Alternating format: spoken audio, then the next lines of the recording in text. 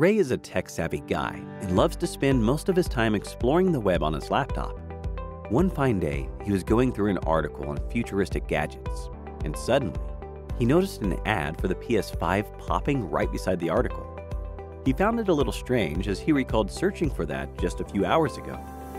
Later that day, he came across some suggestive ads popping up related to buying future leading gadgets. And that is when he freaked out, thinking, how can it be possible that what he was searching for just a few hours or days ago on the internet is now suggesting ads related similar to them. So he thought of going to his elder brother Aaron, who is a software engineer in an MNC.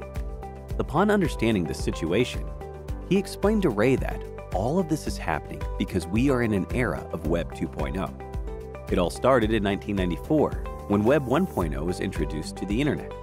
Basically, Web 1.0 was all read-only content, that was not interactable and was similar to a huge Wikipedia page. But after a few years, in 2004, Web 2.0 came into the picture. Web 2.0 made the internet much more interactive because of developments in web technologies such as JavaScript, HTML5, CSS3, and others, which allowed companies to create interactive web platforms like YouTube, Facebook, Wikipedia, and many more.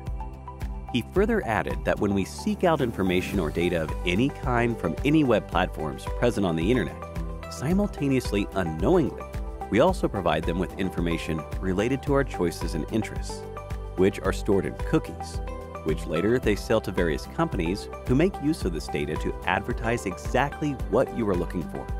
And this is how Ray was able to see ads of his concerned interests. Ray was fascinated by how the internet has evolved and how it works amazingly. But at the same time, he was concerned about the lack of privacy offered by it.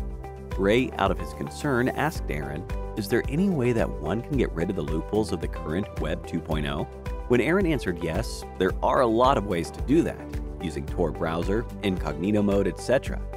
But these are not permanent solutions, and there can be fluctuations in their reliability.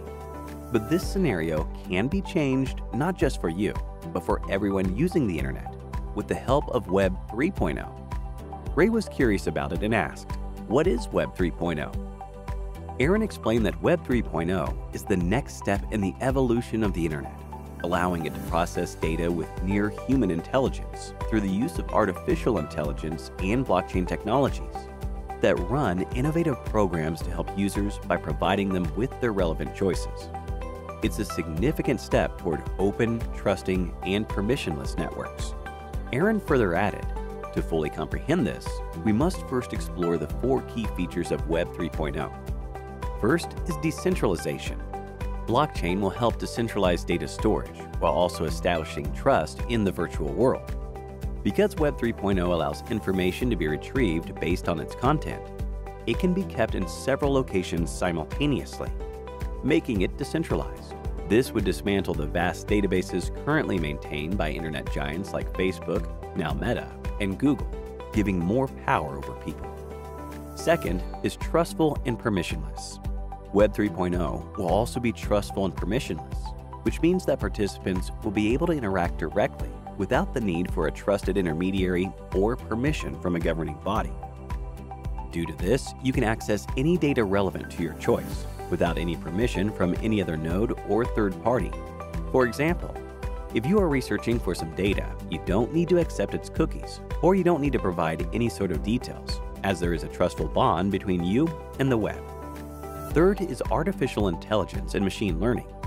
In Web 3.0, through technology based on semantic web ideas and natural language processing, computers will be able to understand the information in the same way that people do. For example, I love Paris and I heart Paris may seem different in syntax. However, their semantics are nearly identical. This will help the user to achieve more relevant content to their choices and will provide them ease with internet browsing. Fourth is connectivity and ubiquity. In Web 3.0, the internet will be accessible to everyone, anywhere, at any time. Because IoT, Internet of Things, technology will launch in several new smart devices. These internet-connected devices will no longer be limited to PCs and smartphones, as they were in Web 2.0. Understanding the shortcomings of Web 2.0, corporates like Amazon, Apple, and Google are transforming their existing services into Internet 3.0 apps that abide by these four principles. Siri and Wolfram Alpha are two applications that use Web 3.0 features. After learning about this, Ray was relieved by the fact that Web 3.0 is going to bring so much of a difference, not just in his life, but also to the society as a whole. So, here's a question for you How is Web 3.0 related to blockchain? A. It helps create smart contracts for web pages on the internet. B. It helps Web 3.0 store its data in the blockchain. C. It offers a decentralized experience to its users. D all of the above. Please take a minute to think about it and leave your answers in the comments section below. Three lucky winners will receive Amazon gift vouchers.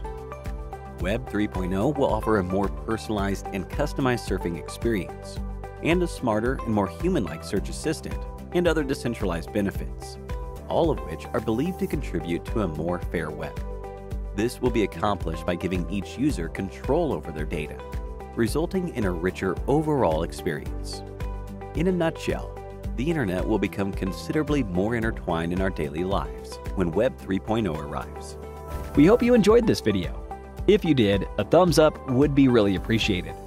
Here's your reminder to subscribe to our channel and click on the bell icon for more on the latest technologies and trends. Thank you for watching, and stay tuned for more from Simplilearn.